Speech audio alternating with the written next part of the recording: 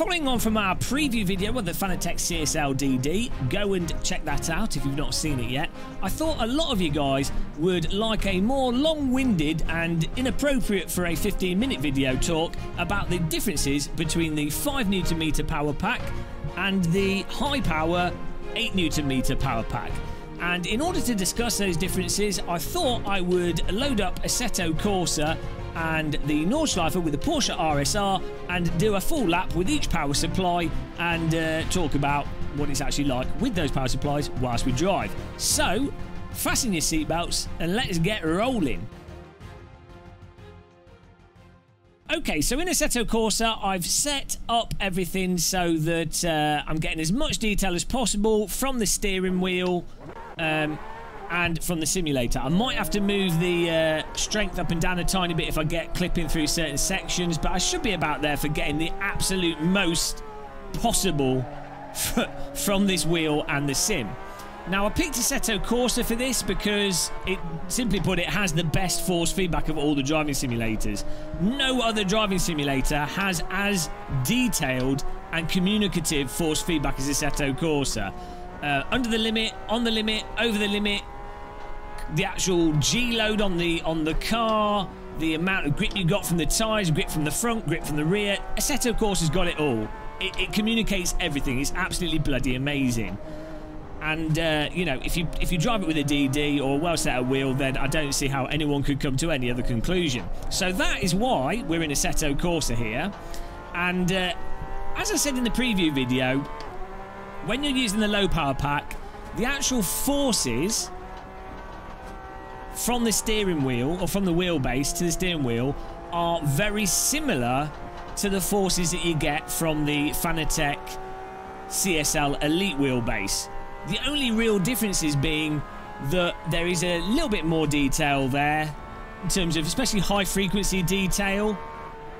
And there's no mechanical resistance from the wheelbase like it's completely and utterly smooth. There's no like notchiness or anything no judder when you brake aggressively or do anything it it's all very like seamless and natural and smooth and it just makes sense. It, it just feels it just feels smooth and intentional. Whereas with the uh, with any belt driven wheel and with the CSL Elite there's a tiny little bit of notchiness to it and there's a tiny little bit of sort of uh, built-in dampening there. I mean to, to, be to be honest, I actually really like this CSL Elite, the Fanatec CSL Elite. It's a great wheel. I'm also quite a big fan of the Thrustmaster T300 as well. When you look at the price of a T300, it's it's absolutely phenomenal what you get from it.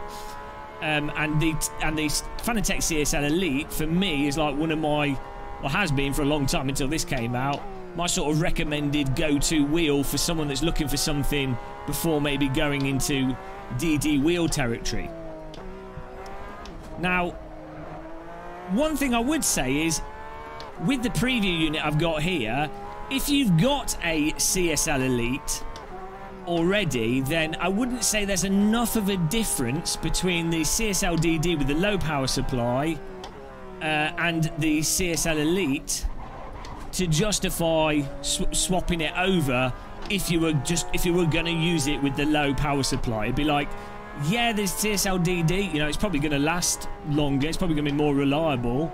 And it does have those benefits, I said. But it's not enough of a difference to justify you going through the hassle of selling the wheel you've already got um, to get a CSL Elite.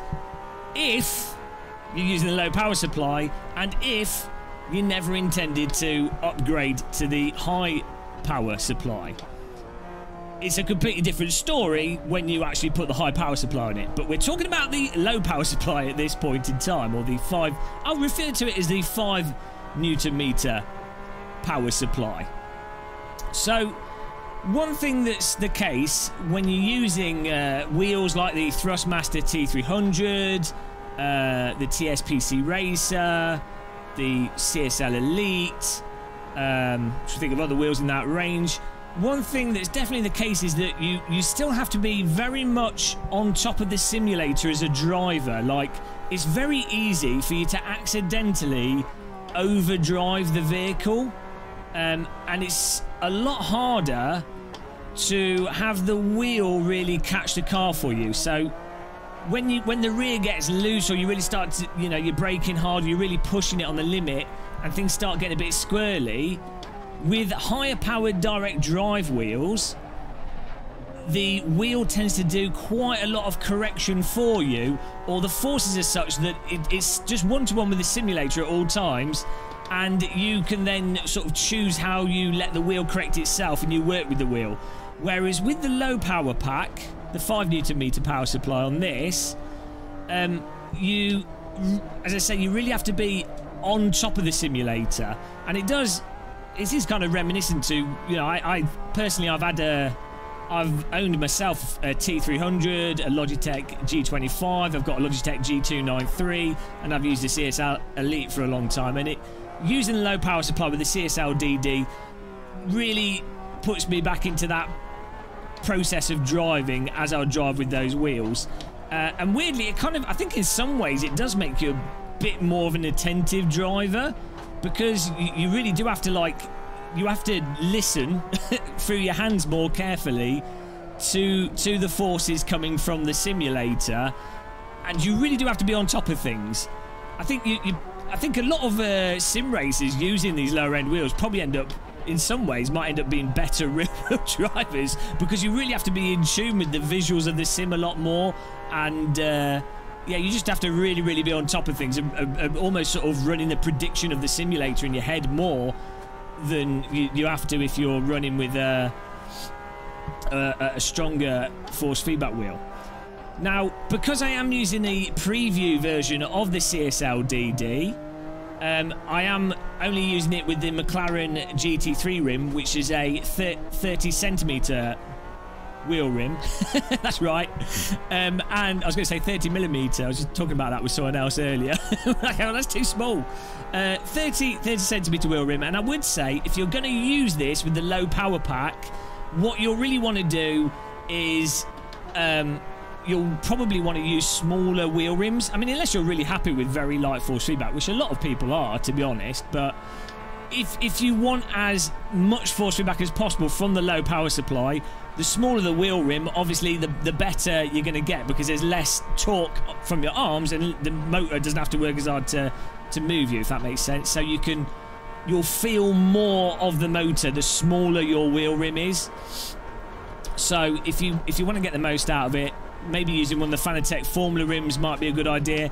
And also the same thing will apply to some extent with how heavy the wheel rim is. So the lighter Fanatec wheel rims will likely be a lot better with the CSL uh, CSL DD's low power pack. Uh, so maybe like the WRC wheel rim, the, you know the, the, the wheel rims that people would typically use with the uh, Fanatec CSL Elite.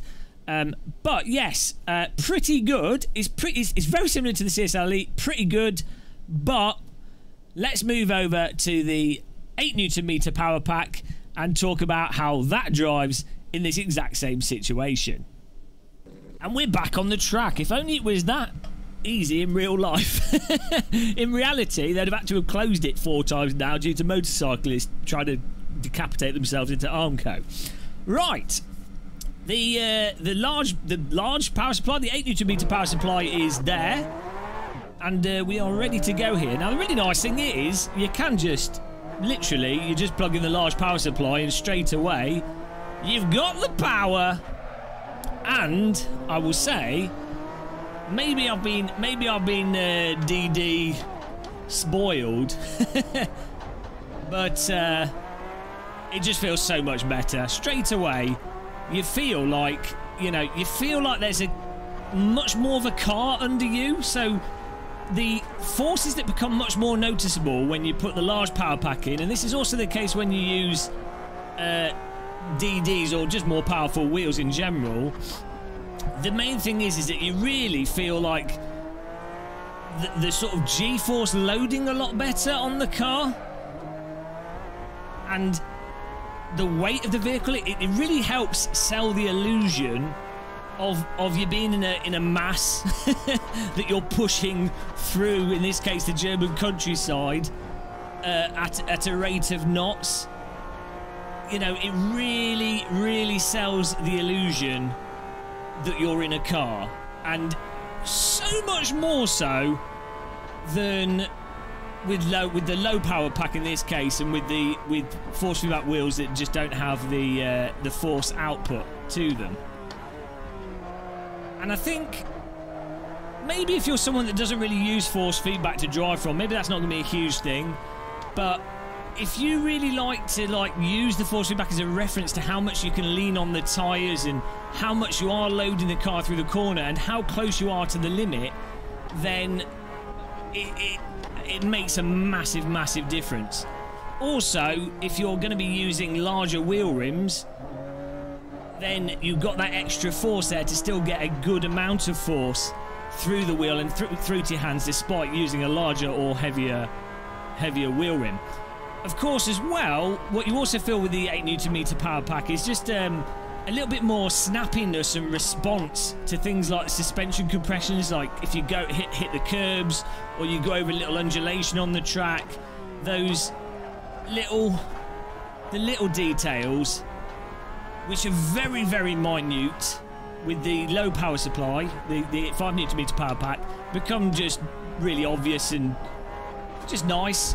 just nice and firm, nice and detailed. And again, really helps sell more of the illusion that you're in an actual vehicle that's got weight to it and that's bouncing around all over the place. I also find with the large power supply, uh, 8 newton meter power supply, the car just, it's, it's like it's driving itself as well and you're working with it.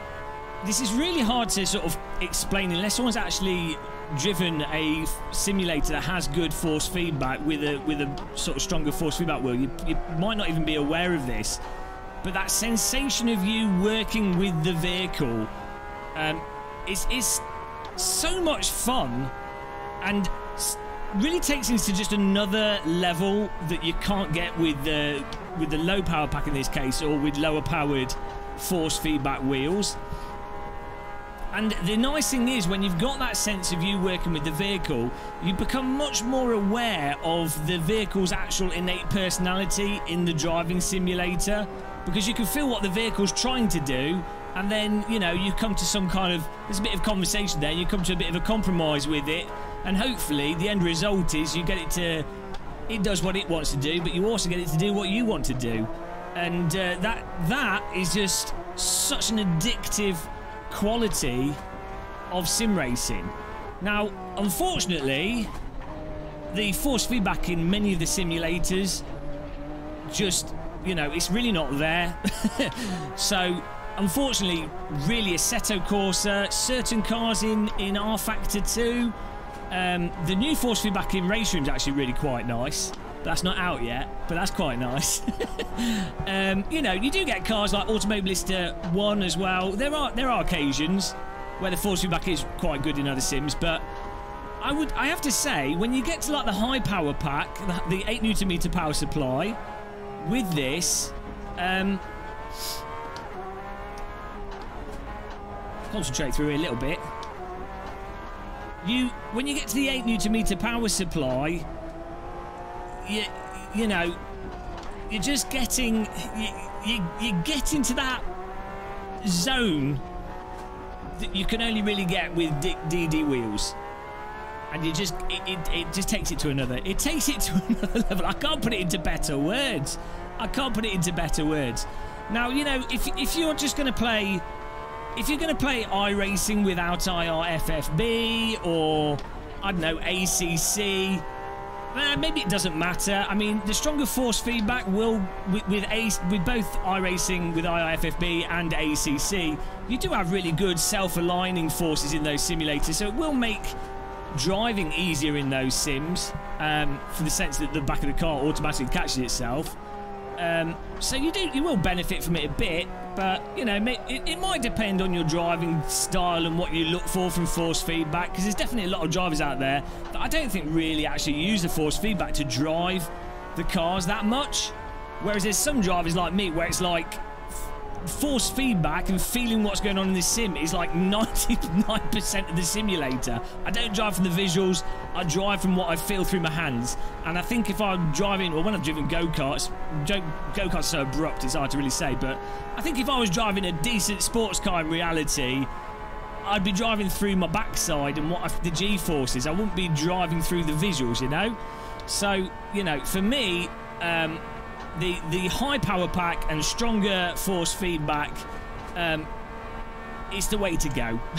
it's the way to go. And I would say, in in this case, when it comes to the Fanatec CSL DD, my recommendation would be, if possible, just try and get the high power su supply version. Like, it's worth stretching the money to get that over the low power pack. Um, you know, Sure, you could get the low power pack version. I guess you could upgrade at a later date, but you would have you'll have you'll have this like piece of equipment there that you're not fully utilising. That would drive me mental. So in some ways, it's a little bit annoying. Let's keep trundling whilst I talk a bit here. In some ways, it's a little bit annoying that Fanatec haven't just done done the CSL DD for like I mean, maybe like another 60, 60 pounds, 70 pound, and it just comes with the one power supply, and that's what you get, and that's just where it is. But you know, I, here we go. I'm going to crash here. but I, I, I understand uh, why they've done what they've done to to get that price down. It's especially going to be relevant when it comes to. Uh, selling these wheels at, at, this point in time it's got xbox compatibility but you know i'm sure they'll do like a playstation version i'm sure they'll do packages, uh, like what you saw with the um, the F1 uh, esports uh, edition of the CSL Elite, and you know when you when you get those bundles, which they they come sometimes with the pedals and a wheel and everything, the pricing of it all sort of makes more sense there. But part of me likes that sort of simplicity of oh, there's a company doing one product and that's it. And uh, I'm definitely, I'm sure Fanatec's going to get a lot of grief from the uh, power supply uh, from the way they've done the power supply. So you know, I understand why they've done it from a from a business perspective, and I think actually, even from a consumer perspective, it's going to be beneficial for a lot of people in that they're going to be able to get access to something and upgrade it, upgrade it at a later date. But I mean, you know, if you've never driven Assetto Corsa with a with a good quality force feedback wheel and driven around the Nordschleife, uh, you could just do it. Oh, you could just do it non-stop. I highly recommend also doing it with vintage vehicles. Just keep going forever around this one track like a lunatic. Absolutely amazing. Well, you notice actually, we're coming up to this section. It's worth saying. So the, these, um, when we hit the curb back there, that's kind of a situation that's a little bit harder to catch with a lower powered wheel and the lower power supply on this. And this section here, actually, I particularly noticed whilst I was doing a lot of the testing of this uh, CSL DD preview unit. Um, here, this corner coming up um, on the brakes, next one. So when you're braking here and when you're trail braking, you come down this corner. This is the kind of corner where the back gets very loose. You've got the car loaded up and you can lose it quite easily, or you're going to have to balance it right at the limit and uh, nicely with the high power su supply that's not hard to do in Assetto Corsa. Because you can feel what the weight of the car is doing you can feel where the tyres are you can hold it you can work with it even though it's a kind of corner that absolutely kills sim physics and is a nightmare to drive. Also probably very hard in reality as well. The high power pack uh, the, the 8 newton meters is enough to really make that quite obvious what to do and, and, relatively easy to be honest. Whereas with the 5 newton meter power supply, corners like that are just way, way harder um, than I think they otherwise would be because you just you just lack that load and immediacy to be able to really get all those details for you to then respond to the very dynamic and very dynamic transient and in some ways quite light at the limit situation. Um, so yeah, but I think that pretty much covers it, you know, for for the main differences in this in this uh, more long-winded video. That as you can now understand why I didn't include this in the uh, in the preview video. Um, but hopefully, hopefully this has helped you decide As I say, if you can afford it, just get the high power pack. Obviously, some people can't, but it's so much better with the high power pack. But hopefully, this has helped you decide. Uh, if it has, let me know. If it hasn't, let me know. Um, but uh, I look forward to your comments. As always, if you're buying Fanatec equipment, remember I do have a Fanatec affiliate link. I really appreciate people using that because it helps support me in what I do. But, um, but until the next video, thanks for watching, happy tea drinking, and goodbye, everybody.